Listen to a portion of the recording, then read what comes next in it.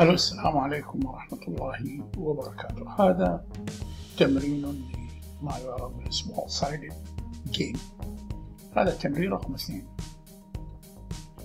آه هذا يذهب التمرين مباشرة إلى ما يعرف باللعب بمناطق محددة. يعني تحدد مناطق وتضع لاعبين في تلك المناطق يلعبون فقط في تلك المنطقة ولا يتحركون إلى المناطق.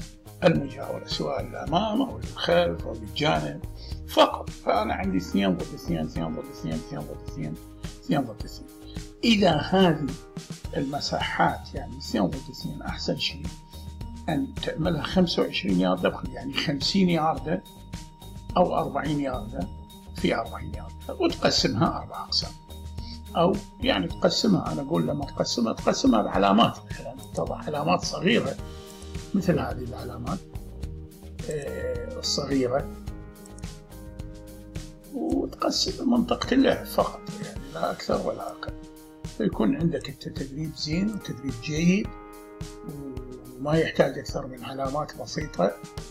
آه، وهاي العلامات تغنيك عن الخطوط طبعا 100% راح تغنيك عن الخطوط. أنا الآن أضع العلامات إن شاء الله اصبروا علي. وهذه شائعة ومعروفة لدى المدربين لكن أتذكر أنا دا أدرب من؟ دا أدرب لاعبين بمرحلة التطوير. فأحتاج إلى تمارين ألعاب مصغرة حتى أطور عندهم ما يعرف باللعب في مناطق محددة. ووضعت المناطق المحددة نضعها يعني شوف الآن المناطق المحددة شوفك إياها. آه، ما في خطوط في مناطق محددة. شوف نفس المربعات صارت. فالمدرب مجهز. أنت تتصرف بالمسافة طبقا لأعمار اللاعبين طبقا لمستواهم طبقا ل أنت شنو عنوانك التدريبي؟ أهم شيء بتدريب التطوير ما هو عنوانك التدريبي؟ أنا يعني اليوم عنوان التدريبي اثنين ضد اثنين في مناطق محددة وألعب وأنا كمدرب أكون مجهز أحسن عشان اللعب دائما يبدي من الحارس. فإذا لعبت لهذا الحارس مثلا فعلى اللاعبين اللي هم الآن الابيض آه، المدافعين آه، اثنين ضد اثنين في كل مربع. ان يتحركون عشان يستلمون من عندي لأن أنا الحارس مالهم. آه، استلمت الكرة الآن وأريد ألعب الكرة. أريد ناس تتحرك عشان نبدي اللعب. فإذا ردت مثل على سبيل المثال هذا يجي هنا لكن في مربعة أكرر. في مربعة هذا يأتي هنا مثلا على سبيل المثال للحصر. هذا يأتي هنا يقدم شوف كيف يقدمون. أهم شيء أنه أنا أعلم اللاعبين. طبعا راح يكون هناك ضغط من قبل اللاعبين ما يعرف اللاعبين الأزرق المهاجمين الأربعة. لكن لاحظ لاحظ أنا أرجعك لذاكرتك أرجع ما يعرف بالمربعات. فلكن أنا ألعب في المربعات فالحارس ممكن أن يلعب إلى هذا. حتى لو كان هذا تحت الضغط مثلا مثل لو هذا تحت الضغط الأبيض اللي استلم أكيد راح يكون تحت الضغط. فيمكن أن يقدم له زميلة إسناد وممكن أن هذا هم يضغط. ممكن هذا هم يضغط يضغط 100% هنا يضغط ويغطي فتكون فرصة لهذا اللاعب. أن يمرر زميلة وزميلة ينطلق للكرة اثنين ضد اثنين خلقنا هذا الذهب إلى اثنين ضد اثنين. الآن عند الخيار هذا اللاعب أن يلعب إلى هذا المربع وإلى هذا المربع. فنفترض اللعب إلى هذا المربع فيصير اللعب انتقل. اثنين ضد اثنين في ذلك المربع ويكون اللعب هكذا. هذولا الاثنين مهاجمين هذول اثنين مهاجمين هذول اثنين مدافعين اثنين مدافعين لعب اعتيادي اثنين ضد اثنين سجل بالهدف سجل ما تقدر تسجل بالهدف اعطي لاي مجموعه حتى المجموعه اللي خلفك المدافعين يمكن ان يساعدوك فعلم اللاعبين على نقل الكره من منطقه محدده إلى منطقه محدده مع ثبات اللاعبين في تلك المنطقة فيكون عندك تمرين من التمارين الجيدة تمرين لعب مصغر يسمى اللعب في المناطق المحددة اثنين ضد اثنين. هذا العنوان التدريبي ما تركز بنقاط التدريب على اثنين ضد اثنين هنا أول نقطة تركز عليها هل بالإمكان الاختراق من قبل لاعبين أربعة؟ أم الاستمرار على البناء لخلق فرص التصويب الآن اللاعب الأبيض بإمكانه أن يصور يصوب من هنا. يعني بإمكانه وببساطة إذا الضغط مال المنافس قليل أن يصوب على الزاوية هذه.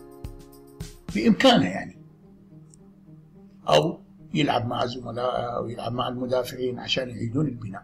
فهاي تمارين التمارين ألعاب مصغرة ابحث عن عنوانها التدريبي لا تنسى كلمتي. لا تفكر فقط أن تضع اثنين ضد اثنين وتقول العبوا على الهدف. شنو عنوانها التدريبي؟ أنه عندك منطقة محددة. وما دام أنت في منطقة محددة أنت كمهاجم في أي مكان من هاي المنطقة. إذا عندك فرصة للتصويب صوب لأن أنت داخل منطقة جزاء ونفس الشيء يقال عن المدافع. إذا عندك فرصة أنت كمدافع أنت قريب جدا عليك زملائك بالمربع الآخر. فعليك أن في أول فرصة للتمرير للأمام أن تمرر. لأن إحنا هدفنا كمدافعين أن نبني السرعة نغذي المهاجمين مالتنا. وهدفنا إحنا كمهاجمين أن نسجل بأسرع وقت ممكن. إذا خرجت الكرة لا يجوز لأي لاعب متابعة الكرة أبدا إطلاقا وإنما المدرب يشوف لمن الكرة هذه من المستفيد هذا الفريق مستفيد. إذا يلعب كرة عالية لحارس المرمى. الآن يبدأ البناء من الفريق الأزرق. قد تضع شرط تعليمي تقول إذا كان هناك ضغط عالي من قبل المهاجمين الأبيض على المدافعين الأزرق ممكن الحارس أن يلعب مباشرة لزملائه الأزرق في ساحة الفريق المنافس. وهنا يبدأ اللعب من الحارس إلى مهاجم ثم اثنين ضد اثنين. فذولا ماذا يبحثون عن الفرصة الأولى للتصويب أو خلق الفرصة الأولى للتصويب أو اللعب مع زملائهم على الجهة الأخرى أو حتى تدوير الكرة إعادة اللعب مع المدافعين وتدوير الكرة وخلق ما يعرف بالبناء من أجل استحداث فرص التصويب واستغلالها استغلال هاي التمارين روح التطوير في كرة القدم. انتبه عليها. راح ناخذ بها آه، سعة من الشرح والنماذج علما علما أنها تملأ الإنترنت. في كثير منها وهي تملأ ساحات كرة القدم حول العالم. لكن إحنا نحاول أن نضعها لأن في ناس يعني كثير من المدربين الشباب اللي تعتمد عليهم آه، يعتمدوا عليها مستقبل يعتمدوا عليهم مستقبل كرة القدم في البلد. قد يكونوا محرومين من ما يعرف بالدورات التدريبية أو أو المشاركة بأسباب مادية أو غير مادية أسباب كثيرة أكو.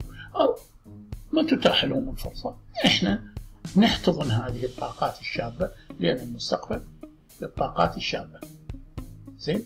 فنتوكل على الله ونكون إحنا معلمين ونسلمهم مهمة قيادة التدريب بإذن الله تعالى.